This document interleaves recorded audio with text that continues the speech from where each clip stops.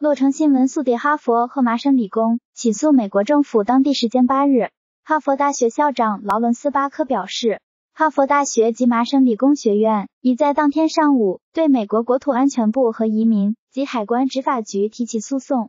该诉讼寻求临时禁止令以及初步和永久禁令，以阻止执行联邦政府关于禁止参加在线课程的国际学生留在美国的规定。此前，美国政府的规定要求。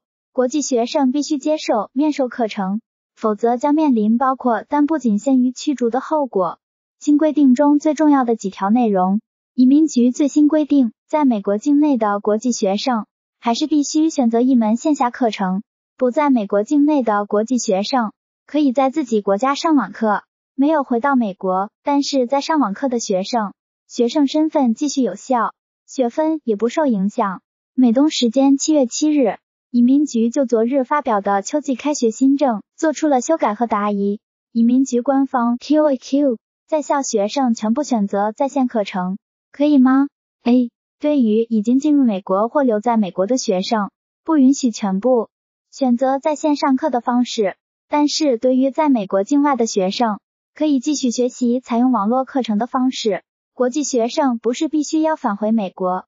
Q 持有 F 和 M 签证的国际学生，如果在美国境外通过在线学习的方式，是否可以保持签证有效？A. 是的，学生持有 F 和 M 签证身份可以在美国境外在线学习，并且签证身份不会失效。Q. 国际学生项目允许使用电子 I 二十表格来确保两千零二十秋季入学吗？A. 是的。国际学生项目仍然允许使用电子 I 二十表格用于秋季。打算回到美国，那么你必须回到学校上一门线下课程，这点没有改变。但你会得到学校提供的便利，例如独立研究、小组论坛，具体尺度把握在学校手中。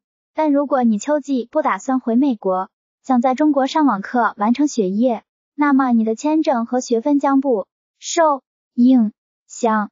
关注我们，持续为大家带来相关报道。